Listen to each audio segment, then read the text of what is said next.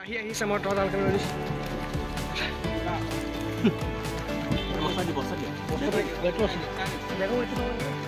বৰশী বাই লাখপতি হ'ল দুজন।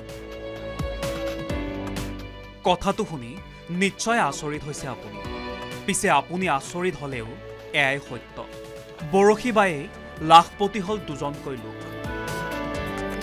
এজনে পালে দুই লাখ আৰু আন এজনে পালে এক লাখ টকা। বৰশী বোৱাটো বহুতৰে বাবে এটা চখ। এতিয়াও বহু লোকে আজৰি সময় পালে বৰশীটো লৈ ওলাই যায় মাছ ধৰিবলৈ। কিন্তু বৰশী বাই যে লাখপতি হ'ব পাৰি সেই কথা কোনেও ভবা নাছিল। এইবাৰ বৰশী বাই যোৰহাটৰ দুজনকৈ লোক লাখপতি হ'ল। যোৰহাটত অনুষ্ঠিত হৈছিল মাছ ধৰা প্ৰতিযোগিতা। প্ৰতিযোগিতাত প্ৰথম পুৰস্কাৰ আছিল দুই লাখ টকা। দ্বিতীয়টো পুৰস্কাৰ আছিল এক লাখ টকা। বৰালি মীনপাম গোটৰ সৌজন্যত অনুষ্ঠিত হোৱা বৰশী বোৱা প্ৰতিযোগিতাত অংশ লৈছিল সাতাৱন্নজন প্ৰতিযোগীয়ে। প্ৰতিযোগিতাখনত যোগদানৰ মাচুল আছিল তিনি হেজাৰ টকা। বিভিন্ন জিলাৰ পৰা অহা প্ৰতিযোগীয়ে অংশগ্ৰহণ কৰিছিল প্ৰতিযোগিতাখনত।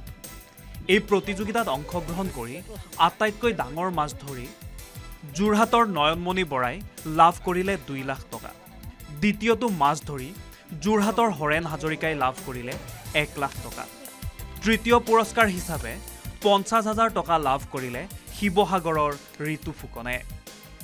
একেদৰেই চতুৰ্থ আৰু পঞ্চম পুৰস্কাৰ হিচাপে লাভ কৰিলে বিছ হাজাৰ আৰু দহ হাজাৰ টকা। ষষ্ঠ স্থানত থকা পাঁচজনৰ বাবে পাঁচ হাজাৰ টকাকৈ আগবঢ়োৱা হয়।